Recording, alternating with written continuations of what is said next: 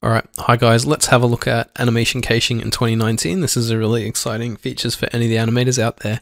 Let's just have a look at this scene without animation caching on at first. You can tell that animation caching's on down the bottom here. By clicking that, uh, you'll see that this blue bar starts to happen, but if we click that off, now the animation caching has gone away. So we can just press play uh, on this scene just to see what the defaults are. And it's playing around 30 to 40 frames a second, depending whether I've got the screen capture software running, which I do at the moment.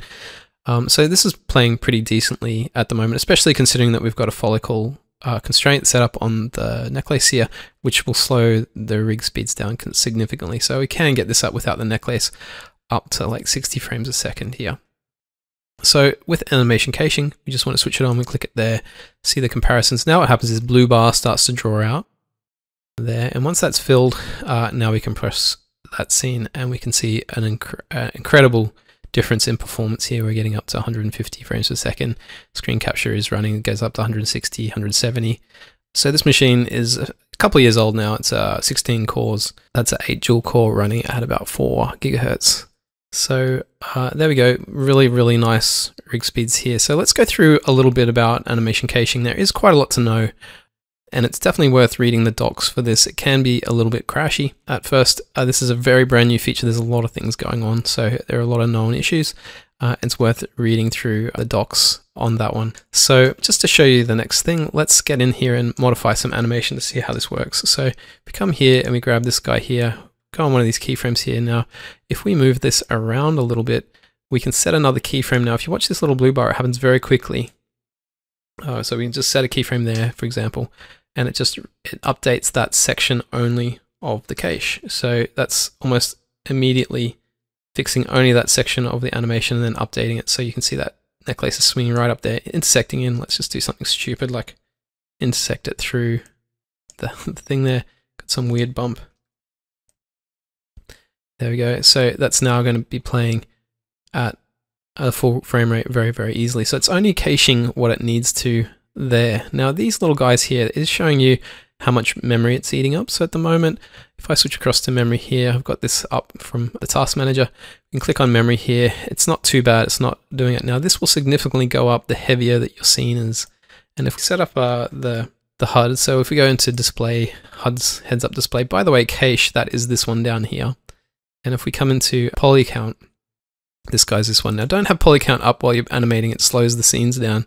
We can see that we're operating here at about 80,000 tris, so 40,000 faces on this character, which is, so it's a pretty medium res sort of a character, this guy. But of course, as soon as we start doing other stuff, we start to put the subds on, this is going to change things significantly and we're getting up to 150,000 tris and that's only, if I come into the smooth mesh options here, only at one division level. So go up another one, uh, it's all multiplying out, and now we're close to half a million tris in the scene.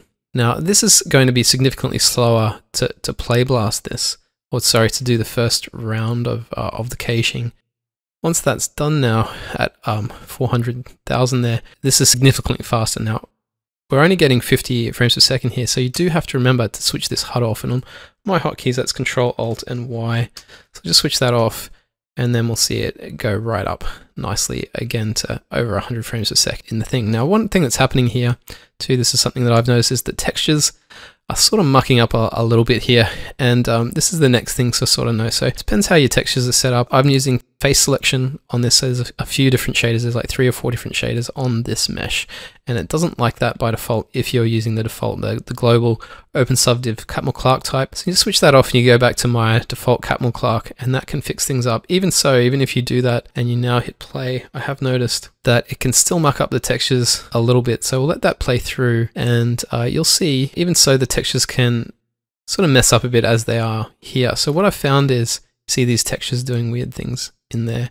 What I found is that the cache does need to be flushed. So right click on this and you guys won't see it here because it's off screen, but down here there is a button called flush cache and use that a lot to re-update your scene. So you can flush that there.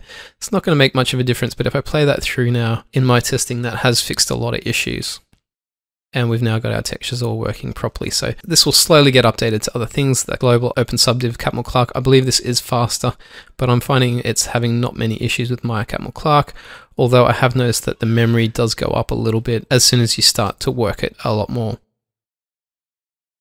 But overall, I've been super happy with the testing on this. Obviously, these rig speeds are great. It means we have multiple characters in our scene and a lot of other cool stuff.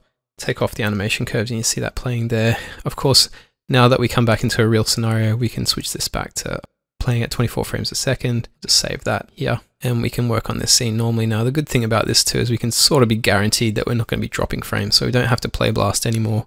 Maya would drop the occasional frame. It would just get a little bit annoying when you really want to get accurate play blasting back on your characters. Got that really weird bump that's happening there. Come back into here and maybe delete some of those frames there and fix that up a little bit and you can see it working here. So that interestingly then, that did do a full recache, so it's not perfect as you can see there, but I have um, been playing around with it a little bit and I've been very impressed by it. And, and I would expect that this is only going to get better in the future as Autodesk tweaks this. So if you have any scenes that have a lot of issues, definitely send those through to the Autodesk team to get them testing on these more and more so that they can get the algorithm a lot more reliable. Uh, sorry, one more thing that I forgot here. This is very important. By default, the animation cache is on evaluation cache. So this is a little bit slower too. And if you switch to that, I would do a flush cache every time to test that. I have had a couple of crashes switching between that. Usually you just figure out what's good for you and then go with it, adding everything back into the cache and speeding that up. But that evaluation cache is a little bit of a safer mode, I've told, been told. Uh, it's a little bit slower, doesn't play as fast. We'll see that we're not going to get those crazy high speeds. We're down a lot lower now um, with that playing. That's interesting. It's really low, but I was getting about 30 or 40 frames per second in that mode. Just to be aware of that one, um, use the software cache or the hardware cache. Now I've got a 1070 video card working on this. Hardware cache is the one I was demoing on, but I found that the viewport cache as well is pretty decent. So I'll switch to that. And I'll just do a flush cache every time just to be a bit more careful and we'll see what we get out of the software as well. I, I have noticed the software is, is very fast as well. So look up what all those options mean in the help here. You can come down here. It tells you about the different caching types here. So uh, check those out and see what happens. So interestingly, uh, because we, are limiting that. So it'd have to come back on and play every frame to see what the top speeds are. And we're getting up to a nicer frame rate there, playing at 60 frames a second. Maybe this needs to be flushed. I was getting over 100 frames, so I think it's just a little bit flaky at the moment. But we could try coming back to hardware and then seeing what that does. Flushing the cache again, wait for that to load.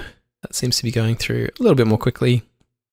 And now we're up to those sort of top speeds. So the 1080 is doing very, very well here with that speed in the GPU mode, I guess. So there you go, guys. I hope you enjoyed that little video on animation caching. I'd expect this to only get better and better. Really lovely release here from Autodesk, and I look forward to future updates making this more and more stable.